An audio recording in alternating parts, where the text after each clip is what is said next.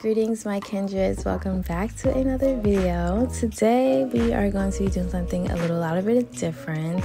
Um, I learned that a lot of people are very much unaware that I am an actual hairstylist. I did go to Aveda cosmetology school in Soho, New York, and um, yeah, people are like, "You do hair, girl? You do hair?" Uh, yes, I do. I mean, for the past year, I did decide to kind of take a step back from the chair, just you know, to kind of get myself together. But now I'm definitely in a space where I am ready to get back to my craft. Okay, so today um, we're going to be doing something new. This is actually my first time um, doing this type of install. You know, when I was doing hair, it was sew ins and wig installs that were like the thing. I mean, that is still very much relevant, but now the girls are looking for tape ins, I tip, and these hybrid installs. So, luckily, I had a client. She was like, Hey, do you know how to do tape? And I was like, Girl, uh, you're gonna be my first time client. So, girl, yeah, come through. so, she already came with her hair pre washed because um, if you guys don't know, I work from home. I just went ahead and I um, gave her a silk press and trimmed her ends. And then after that, we're just gonna get right into the install. This video is sponsored by Y Wigs they actually inspired me to get into tape ins because they reached out to me and they was like, hey, we would love for you to um, do a review on our tape ins, da, da, da. And I was like, oh, yeah, yeah, maybe I should get into that. So I went ahead and I went with the 20 inches of their light yaki tape ins. They, I ended up using, um, they ended up sending me um, 300 grams, which is equivalent to like three bundles, but I only literally used two um, 100 grams on her head. I like how on the website they provide you with like videos on how to install and how to remove your tape ins and two how to take care of them and maintain them which is really good.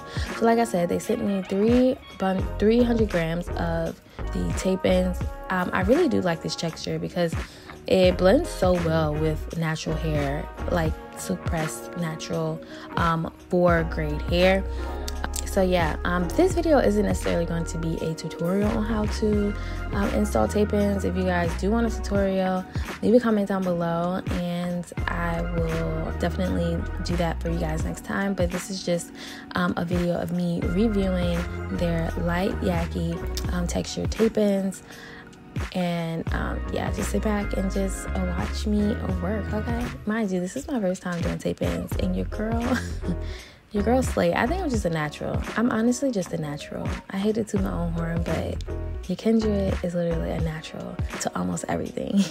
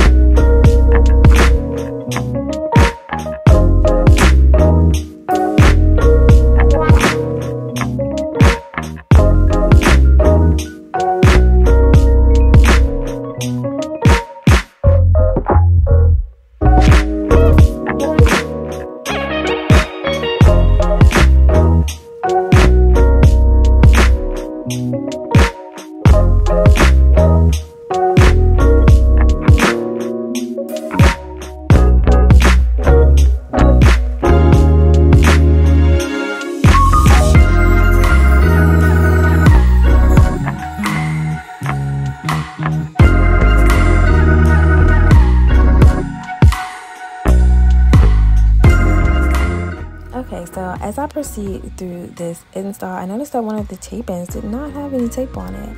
but the show must continue. Um, yeah, i am halfway through this install, and baby, I think I found the love of my life. I think this has to be one of my favorite installs. Like, you cannot tell me that this is not coming out of my client's scalp. Look how seamless this is. Look how flat, like, you, like, I don't know. You just can't get any better than this. Now, I haven't heard horror stories about um, reinstalling tape-ins and like reusing them. A lot of stylists don't want to be bothered. They're like, get somebody else to do it. I'm not doing it. A lot of stylists do not offer um, that service. I'm still contemplating. So, you know, I work from home, but I'm thinking on the days where I do offer um, reinstall services and maintenance services that I just rent out a studio and work from the studio. I'm thinking to start doing that actually, like having like a shampoo day and a um, maintenance day. Maybe I'll probably do that like on Sundays, rent out a studio and have my clients meet me at the studio so that way I can, you know, and shampoo their hair, give them trims, and do my tape ins and I tip, you know, um, maintenance services and things of that nature. But yeah, I'm gonna get back to letting you guys watch this video and I'll give you guys my honest review on the Y Wigs texture tape ins.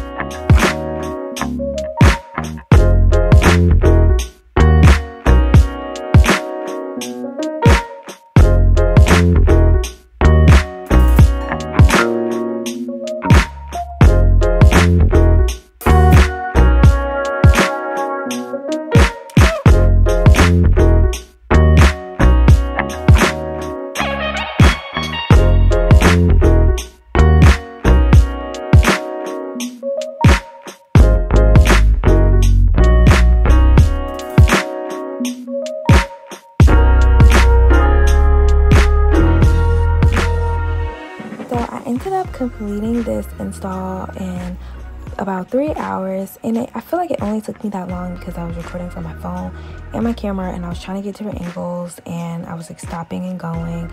But I really believe that I can um, do this type of install in a matter of like two hours maybe an hour and 45 minutes or so. But yeah this looks so seamless. It looks so freaking good. So the way I installed it I installed it to where she could wear it um, all up in a bun if she wanted to, um, half up, half down, or just all down with a part in the middle. Then yeah, I really love this texture. The light is light yaki texture.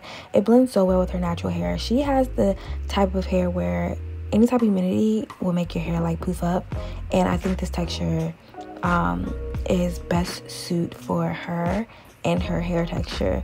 Um, yeah, so that's it for this video. Uh, shout out to Y Wigs for sponsoring this video, and I will see you guys in the next video. Bye.